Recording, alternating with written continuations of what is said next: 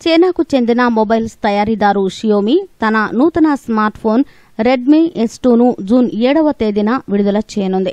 Three by four GB RAM వేరియంట్లలో విడుదల కానున్న ఈ ఫోన్ వరుసగా పదివేల ఐదు వందల అరవై రూపాయలు పదమూడు వేల ఏడు వందల ముప్పై ఐదు రూపాయల ధరలకు వినియోగదారులకు లభ్యం కానుంది.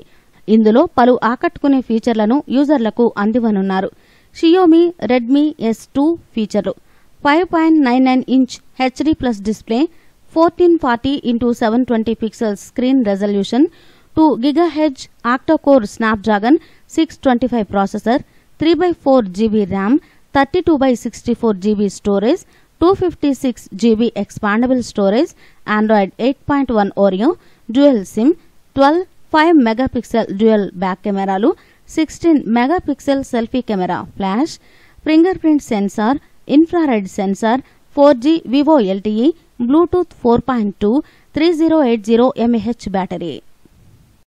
మీకు ఈ వీడియో నచ్చితే లైక్ చేయండి మీ ఫ్రెండ్స్తో షేర్ చేసుకోండి కానీ సబ్స్క్రైబ్ చేయడం మాత్రం మర్చిపోకండి. Thanks for watching.